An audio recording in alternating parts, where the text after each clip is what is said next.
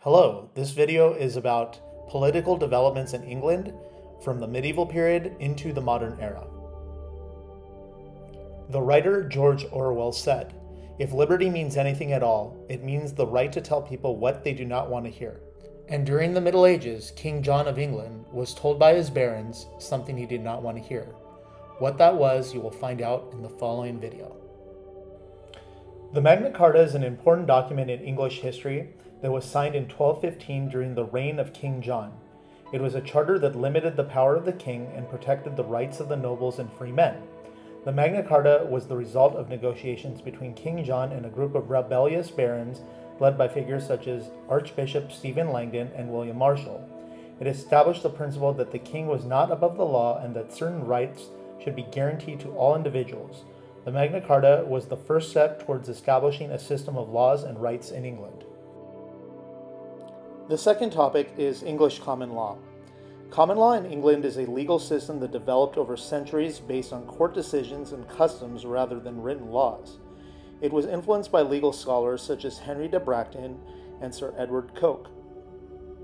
Common law was an important part of English society and provided a sense of fairness and consistency in the legal system. It ensured that similar cases were treated similarly and helped establish a foundation for individual rights and freedom. Figures like Sir William Blackstone played a significant role in codifying and interpreting common law and principles. The next topic is Model Parliament. The Model Parliament was a significant development in English political history. It was established in 1295 during the reign of King Edward I and consisted of representatives from different classes, including nobles, clergy, and commoners. The model parliament was influenced by figures like Simon de Montfort, who organized the first representative assembly in 1265. It marked the beginning of representative government in England and provided a platform for people to voice their concerns and grievances. The model parliament helped ensure that laws were made with the consent of the government laying the groundwork for a more inclusive and democratic system. The Glorious Revolution occurred in 1688 when William of Orange, a Protestant Dutch prince, was invited to invade England and take the throne from James II. The Glorious Revolution was bloodless and led to significant changes in English governance. It was supported by influential figures such as John Locke, a political philosopher whose ideas on individual rights and limited government influenced the events. The Glorious Revolution established the principle of parliamentary sovereignty, meaning that the power of the monarch was limited by the authority of Parliament. This event marked a crucial turning point in English history.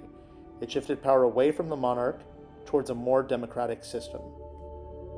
And the last topic is the English Bill of Rights. The English Bill of Rights was enacted in 1689 following the Glorious Revolution.